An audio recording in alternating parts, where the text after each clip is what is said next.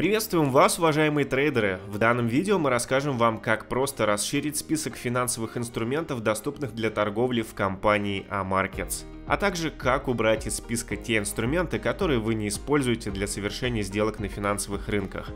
Итак, для начала запустим торговый терминал MetaTrader на вашем устройстве.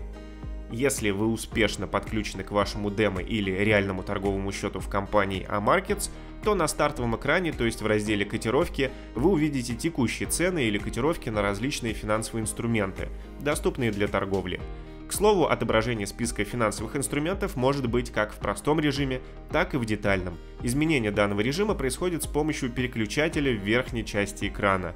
В детальном режиме вы дополнительно сможете увидеть текущий спред по инструментам, а также минимумы и максимумы цен за текущую торговую сессию.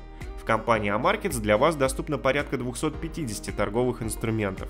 Для того, чтобы добавить в список инструментов, которые вы сейчас видите на экране, дополнительные инструменты, просто нажмите знак плюс в верхнем правом углу экрана вашего смартфона. Вы увидите перечень категорий торговых инструментов, доступных для торговли в Amarkets. Предположим, что вы собираетесь торговать по наиболее распространенным инструментам валютного рынка, валютным парам евро-американский доллар – то есть евро-USD, и британский фунт американский доллар, тикер GBP-USD. Они находятся в категории Majors, то есть в разделе с главными валютными парами. Для их добавления нажмите зеленый знак плюс слева от тикера валютной пары. Если добавление в ваш список избранных торговых инструментов произошло успешно, то эти инструменты исчезнут из списка Majors. Допустим, что помимо валютных пар вы собираетесь торговать CFD на фьючерс нефти марки Brent. Для того, чтобы быстро найти данный инструмент, воспользуемся полем поиска торгового инструмента. Напишем Brent. Как видите, данный инструмент находится в разделе CFD. Также нажмем знак плюс слева от тикера Brent. И выйдем на главную страницу, нажав кнопку «Отменить». Обратите внимание, и две валютные пары и нефть марки Brent теперь отображаются в самом низу списка торговых инструментов.